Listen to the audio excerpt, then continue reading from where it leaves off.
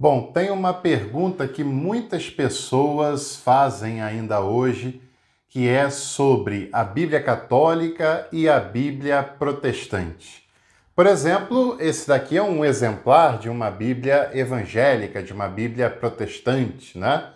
Uh, esse daqui é um exemplar de uma Bíblia católica, tá certo? Então, aparentemente, não quer dizer muita coisa mostrar esses dois livros para vocês, porque não dá para saber qual a diferença que pode possuir entre eles olhando só assim as capas e capas até desgastadas pelo, pelo tempo. Uh, mas muitas pessoas têm a curiosidade, a vontade de saber qual a diferença entre a Bíblia católica e a Bíblia protestante. Inclusive, tem pessoas que acreditam que a Bíblia da outra confissão religiosa não é nem confiável, que um evangélico, um protestante, não deve ler uma Bíblia católica e vice-versa, o que é um completo absurdo, sem dúvida nenhuma. Uh, nós aqui no mundo ocidental temos a mania, temos o péssimo vício, principalmente aqui no Brasil, nos setores mais conservadores, de achar que essa discussão ela se resume a católicos romanos e a protestantes evangélicos, principalmente. Mas essa é uma discussão muito mais ampla do que a gente pode imaginar. Na verdade, muitos evangélicos aqui no Brasil pensam que a sua Bíblia, que a Bíblia que a sua tradição possui, é a Bíblia adequada e que a Bíblia católica é uma exceção, que tem lá inserções equivocadas, etc. Muitos católicos também pensam dessa maneira. Pensam que a sua versão da Bíblia é a versão original e que a Bíblia que os evangélicos usam é uma Bíblia que está faltando textos ou coisas semelhantes. Tanto uma versão quanto a outra, elas são exageradas, porque essa é uma discussão muito maior, como eu falei. Existe, por exemplo, o cristianismo de tradição oriental, uh, que também tem as suas variações dependendo da comunidade, dependendo da tradição, dependendo também do lugar onde essas comunidades estão inseridas. A Bíblia evangélica que a gente conhece aqui no Brasil, ela é composta de 66 livros.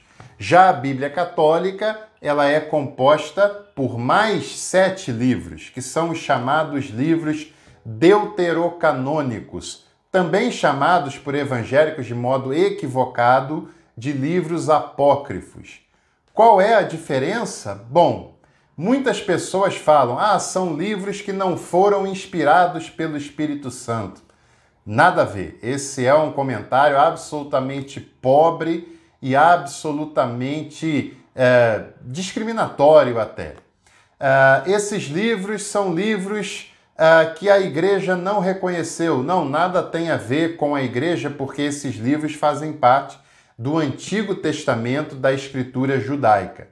A diferença é, resumindo a história, tão somente que a Bíblia evangélica se baseia na tradição da Septuaginta, onde esses livros não foram encontrados ou não foram usados por aquele setor lá de Alexandria, que traduziu do, do, do, do hebraico para o grego o texto do Antigo Testamento, e a Bíblia Católica tem como base principal a Vulgata de São Jerônimo, que é uma tradução uh, para o latim que aconteceu na Antiguidade Cristã por volta do século III, do século IV. Então, somente é isso. O problema não é espiritual de maneira nenhuma o problema nada tem a ver com o Espírito Santo, é tão somente uma questão de tradição, uma questão de tradução e também uma questão de fontes que foram utilizadas para a tradução dessas versões. Como eu falei, não são as únicas versões nem as únicas diferenças que se tem sobre a Bíblia Sagrada. Em vários lugares do mundo, em várias áreas do cristianismo, tem outros tipos de diferenças. Aliás, quando o Novo Testamento cita as Escrituras, como por exemplo a carta de Timóteo, toda a Escritura é divinamente inspirada, do que é que o texto está dizendo? A Escritura que a igreja tinha era a escritura do judaísmo, era o que nós chamamos de Antigo Testamento. E você sabe que provavelmente alguns livros que estão na Bíblia Católica eram utilizados pela, por algumas comunidades da igreja primitiva uh, como sendo escritura sagrada. Por exemplo, alguns nomes ligados à tradição evangélica usaram em seus sermões livros considerados deuterocanônicos, como por exemplo John Wesley pregava muitas vezes sobre o livro de Eclesiástico. A comunidade primitiva conhecia esses textos. Muitas delas usavam esses textos, como usavam também outros textos neotestamentários, entre aspas, mas que acabaram ficando de fora do cânon do Novo Testamento, que muitas pessoas têm a visão romântica de achar que o cânon foi definido por uma revelação do Espírito Santo, mas não foi assim. O processo de definição desse cânon levou séculos para ser formado, foi formado pela instituição religiosa e também teve questões, claro que teve questões de tra tradição, questões de uso das comunidades, mas também teve peso político nessas escolhas, sem dúvida nenhuma, até porque a igreja antiga não tinha preocupação com um cânon fechado definitivo, mas ela tomava conhecimento dos escritos que chegavam até ela e, claro, tinham os seus critérios de leitura desses textos. E alguns circulavam numas comunidades e não circulavam em outras e vice-versa. Então, se você é alguém que gosta da Bíblia, que ama a Bíblia, que quer conhecer o texto sagrado, você pode ter na sua casa versões da Bíblia protestante, versões da Bíblia católica. Aliás, entre as Bíblias que nós temos em português, as Bíblias católicas, elas costumam ter uma tradução melhor, comentários mais aprofundados e mais técnicos, e elas costumam ter uma fidedignidade na tradução muito maior do que a maioria das Bíblias evangélicas, que não quer dizer que não tenha boas versões também de Bíblias evangélicas protestantes.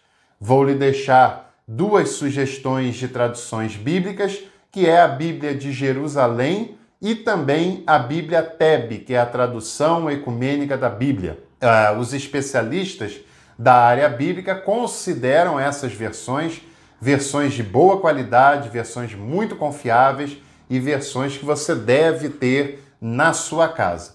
E se você quiser um, li um vídeo sobre cinco sugestões de Bíblias, é só você escrever aqui nos comentários é, dicas de Bíblias, que em breve eu faço um vídeo falando sobre esse tema, que é um tema muito interessante, um tema ainda pouco conhecido pela maioria dos cristãos e que deve, sem dúvida nenhuma, ser aprofundado. Tá bom? Então nós estamos chegando ao final desse vídeo, mas antes de você passar para outro vídeo, eu lhe faço um convite. Venha participar do meu grupo de estudos.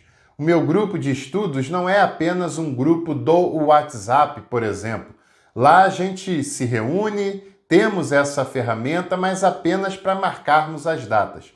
Porque nós nos reunimos é, de modo online, de modo é, ao vivo, cada um na sua casa, no lugar de preferência, e nós trocamos ideia em tempo real. E lá você me vê, me ouve, pode falar, eu posso lhe ver, posso lhe ouvir e nós temos tido experiências muito interessantes de trocas de experiências, de conhecimento, e isso tem sido enriquecedor para quem faz parte, porque nós temos pessoas do país inteiro praticamente que participam conosco do grupo de estudos online.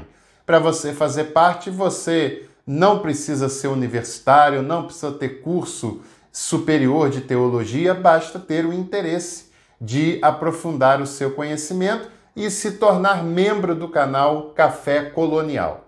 Você faz parte desse grupo, tem descontos em todos os cursos que eu faço, tem conteúdos exclusivos para você e, claro, você colabora muito para o crescimento e o desenvolvimento do nosso trabalho. Um grande abraço a todos e todas e até a próxima oportunidade.